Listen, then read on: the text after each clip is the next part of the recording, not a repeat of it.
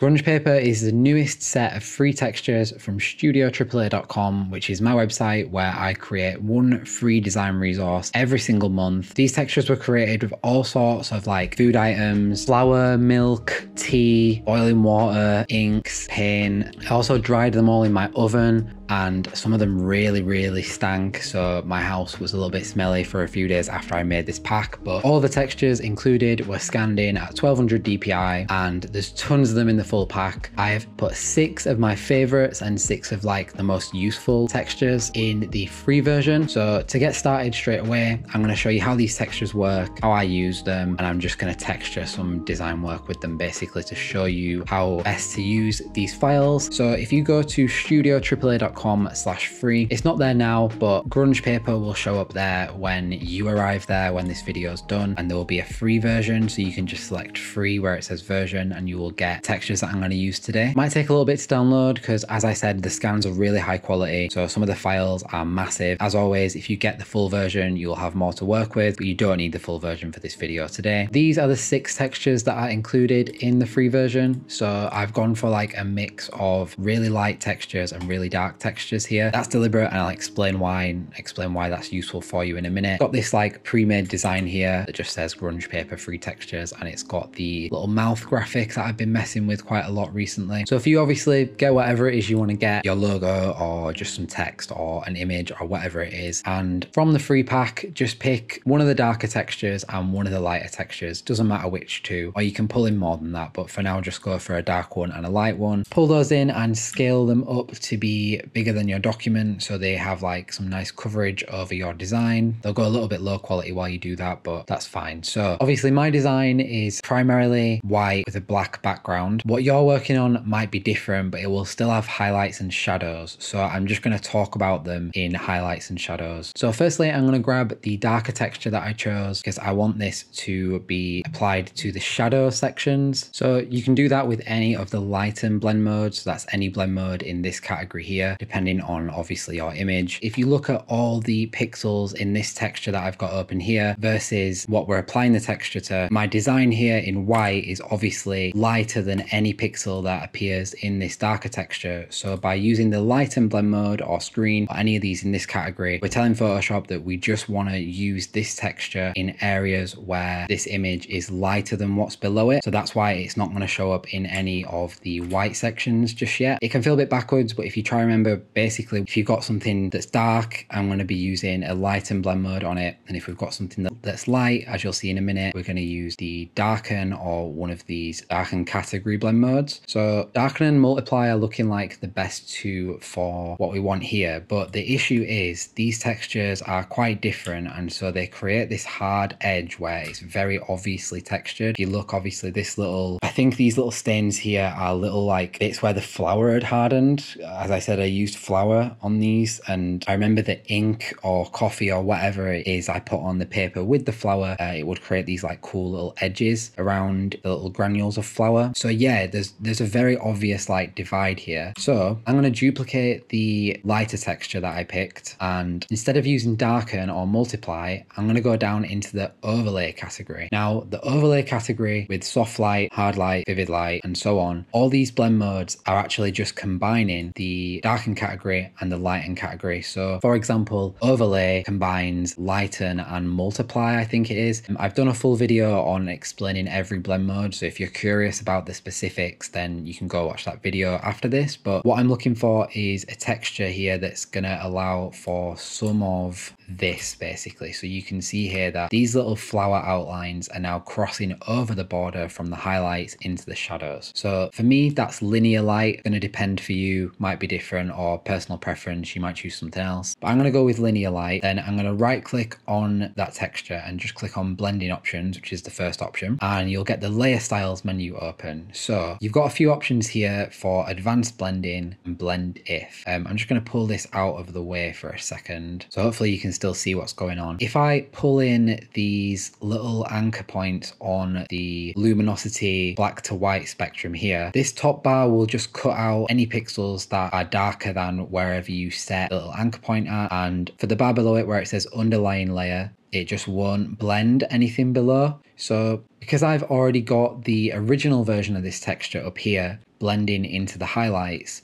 then what I want to do for this duplicate that's using linear light, what I want to do is pull in this anchor point for the underlying layer so that our linear light version of this texture is not going to blend onto the highlights. So if I pull that down as far as like here and just press OK, if we zoom in now, I'm zooming quite far because I, I don't know how well this comes across in the recording by the way, but um, you can see now that these little elements, these little details will bleed through from the shadows to the highlights and vice versa. So it just looks a little bit more realistic. It's obviously still at a point where it is very obviously digital. So we need something to like tie all these together basically. So I'm going to open back up the folder and I'm going to pull in this other dark one and this other light one that I've not used yet. Again, I'm just going to scale those up. And with the darker one selected, I'm just going to look for a blend mode that's going to kind of of flatten out some of the details. It's going to depend on your image, but you're most likely to find something that works with darken, multiply, lighten, or screen. Because if you get into the overlay category or any of these different blend modes, then you're like making the image more complex or there's like quite a lot of blending going on in these. Whereas the lighten and, and darken stuff will happily like just overwrite a lot of detail. So for this one, I'm going to go for lighten. I might not need the other one that I pulled in, but I did think that color burn looked cool for this this one uh, if a little bit too much. So I'm going to do color burn with the opacity just turned down a little bit. Now, at this stage, there's obviously some cool high detail texturing going on, but the edges of our original design are hard and rigid and very obviously digital. What would look cool and what does look cool is if you get something like this and actually print it out with your printer, like normal at home printer, normal shop bought printer ink, that usually looks cool. But for this video, I'm going to show you a couple of ways we can make the text look like it fits in with the texture basically. So first thing to do, convert your design or whatever the highlights of what you're working on into a smart object. So if you've got text layers, logos, stuff like that, put them all into one smart object for this. Once you've done that, you can right click and, and just press convert to smart object by the way. But once you've done that, just press control, click on the little thumbnail for your design and it will select the design and then go to layer, new fill layer and go solid color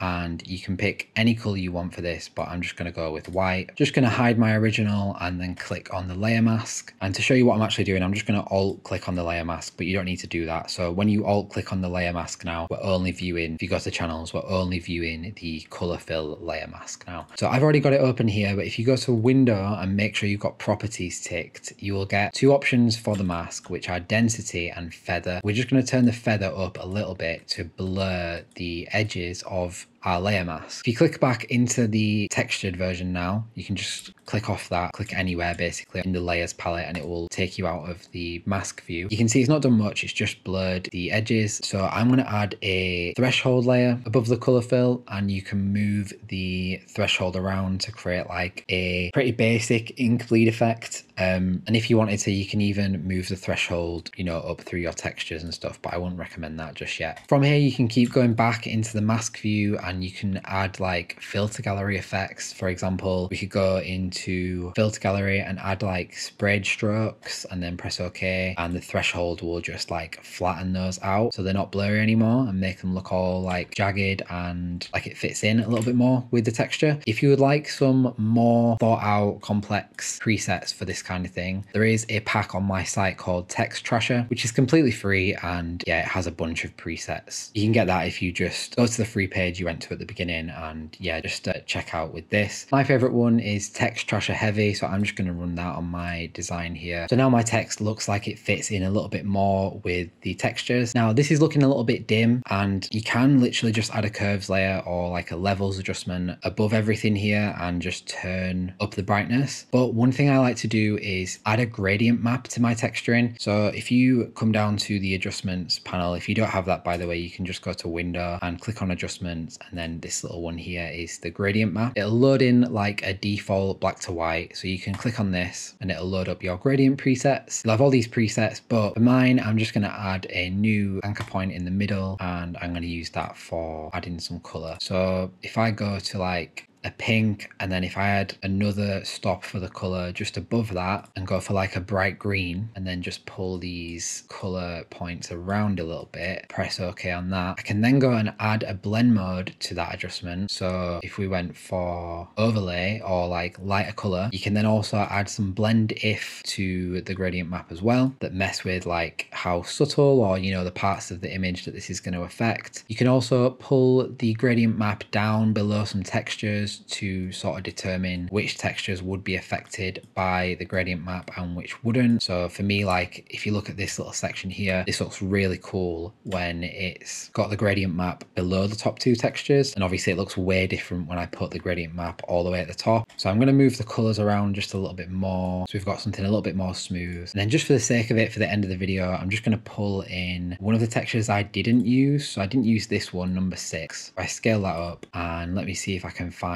a way to use this one. So the lighten category is probably not the best one. These are kind of ruining it. Difference is just going to look insane. Um, but if I go for darker color, we retain some of the original like grayscale from these textures, but the gradient map is kind of coming through with the shape from this texture. So for me, that's done. I really like this. Everything remains editable. All your colors are editable. You can move things around because we didn't like rasterize at all in this process. And yeah, I actually really like this. I'm really surprised with this. Um, I'm finding that the more I make videos, the um, the better I get at actually making something good in the video. But when I first started, I really struggled at actually making anything that was good in the tutorial itself. So um, yeah, I hope you like this. I hope this was useful for you. Before anyone asks, I will link all the fonts that are in this design in the description. But this one at the top here is called RS Rain. This one is Dharma Gothic C. This one's Arial, and I think the rest is just Arial as well. And then this little graphic in the middle, I already did a video on creating this, so this is just a Blender render that I did. Um, and of course, everything else you watched me make in this video. So like I said at the start of the video, if you like stuff like this, I am making one free download every single month for graphic designers and visual creatives at studioAAA.com. I don't pay for ads and I'm really bad at promoting anything, so if you could share this video with any of your creative friends, that is the best way to help me out. Hopefully you couldn't hear the GTA style car chase that is apparently happening outside my house through this video. Um, any questions, let me know. Thanks for all support on the channel and I will see you in the next video.